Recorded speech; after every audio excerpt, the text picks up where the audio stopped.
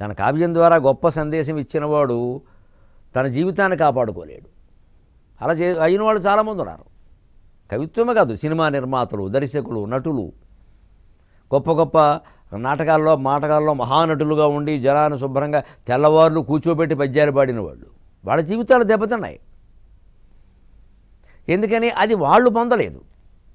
జనానికి ఏ తత్వాన్ని చెప్పారో ఆ తత్వాన్ని వాళ్ళు అవగాహన చేసుకోలేదు. ఎలా ఉంటుందంటే కొన్ని వేదికలు ఉంటాయి గమనించండి మీరు. కొన్ని కళ్యాణ మండపాలు కొన్ని వేదికలు ఉంటాయి మేము చూస్తూ ఉంటాం. ఫీడ్బ్యాక్ ఉండదంటారు. అంటే వేదికల మీద కూర్చుంటే ఎలా ఉంటుందంటే ఒక వేదిక మీద నలుగురు ఐదుగురు కూర్చున్నాం అనుకోండి ఇప్పుడు నేను మాట్లాడుతున్నా నా మాటలు మైక్ ద్వారా ఎదుటి వాళ్ళు వాళ్ళ ఎదుటి వాళ్ళకి వినపడతాయి వేదిక మీద వాళ్ళకి వినపడవు అదే ఫీడ్బ్యాక్ లేకపోవడం అంటే. ఇక్కడ స్టీరియోలు సరిగ్గా ఏర్పాటు చేయలేదండి ఫీడ్బ్యాక్ లేదండి బాబు. ఈ కళ్యాణ మండపంలో ఎప్పుడూ ఇంతే అంటారు. కొన్ని రకాల కళ్యాణ మండపాల మీద అపవాదం ఉంది. అది తొలగించుకోవాలి లేకపోతే అక్కడ సభలు జరుపుకోవాలి. రీసౌండ్ వచ్చేస్తూ ఉంటుంది. మాట్లాడుతుంటే రీసౌండ్ వస్తుంది. ఇప్పుడు మాట్లాడేవాడికి వాడి మాట స్పష్టంగా వినపడదు. పోనీ వాడు మాట్లాడుతున్నాడు కాబట్టి అదేమిటో తెలుసు. వేదిక మీద పక్కన కూర్చునే వాళ్ళకి వినపడదు. వీడు ఎదురుగా కూర్చుంటే వినపడుతుంది. మరి అలాగని దిగి వెళ్ళి ఎదురుగా కూర్చోగలరా? కొంతమంది పాపం వేదిక మీద కూర్చుంటే కానీ ఆ ప్రాధాన్యం దక్కదని ఆశిస్తూ ఉంటారు. వాళ్ళు ఉపన్యాసం వినడం కంటే ఉపన్యాసానికి రావడం కంటే ఆ ఉపన్యాసం ద్వారా ఆనందం పొందడం కంటే ఈయన ఆయన పక్కన ఈయన కూర్చున్నారంటే మరి ఈయన ఎలాంటి వాడో చూడండి అనిపించుకోవడం ఈయనకి ముఖ్యం ఇక్కడ. అందుకని కూర్చుంటారు. వాళ్ళ కూడా వాళ్ళది.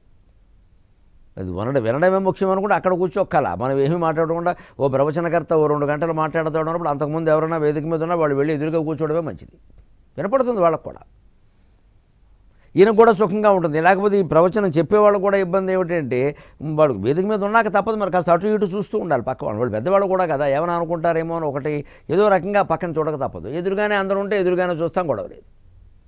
అంటే ఏదైనా రసానందం పొందాలంటే అహం పోవాలి. అహం పోతే కలిగేది బ్రహ్మానందమే.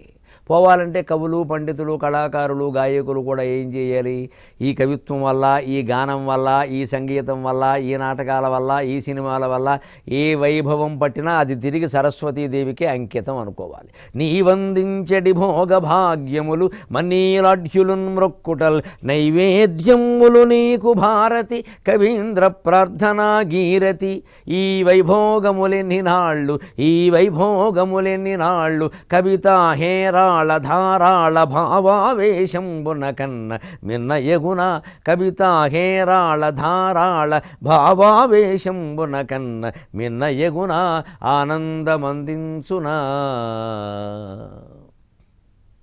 అని ప్రతి కవి ప్రతి గాయకుడు ప్రతి కళాకారుడు భావించాలి. అమ్మా నువ్వు అందించే భోగభాగ్యాలు వీళ్ళ పెద్ద పెద్ద వాళ్ళంతా నేను వచ్చేసరికి లేచి నిలబడి నమస్కారాలు చేస్తున్నానంటే ఆ గౌరవం అన్నీ నీకు సమర్పిస్తున్నానమ్మా. ఇది నన్ను చూసి కాదు నాలో ఉన్న నిన్ను చూసి. కొంతమంది పెద్దవాళ్ళు మాకు నమస్కారం చేస్తే పాపం పద్ధతిగా అంటారు. మీకు మేము వద్దండి అని అంటే మీకు కాదండి మీలో ఉన్న సరస్వతిగా అంటారు. అంతే.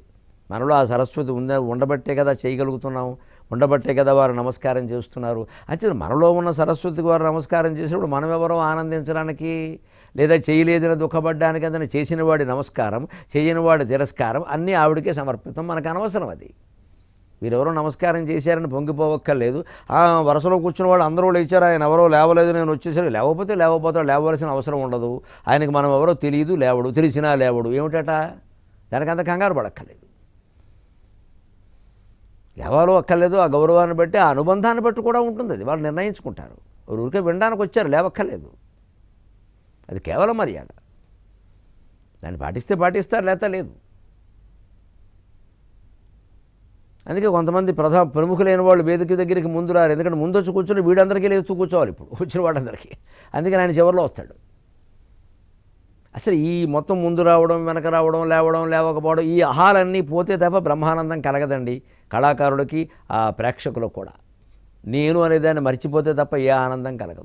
మనం నేను అట్టి పెట్టుకుని అన్ని ఆనందాలు కావాలంటాం ఏది మిగలదు. చివరికి నేను ఉండదు ఆనందం ఉండదు మొత్తం దుఃఖం మిగిలింది. మన మన ప్రయత్న లోపం అది. మన అవగాహన లోపం. నేను అనేది ఉండగా ఆనందం కలగదు. నేను అనేది పోతే తప్ప సుఖం అనేది రాదు. ఆ నేననే భావనే పోవాలి. అందరం కలిసి ఉన్నాం సామూహికంగా అంతే. బండరాయి ఎంతో మనం కూడా అంతే.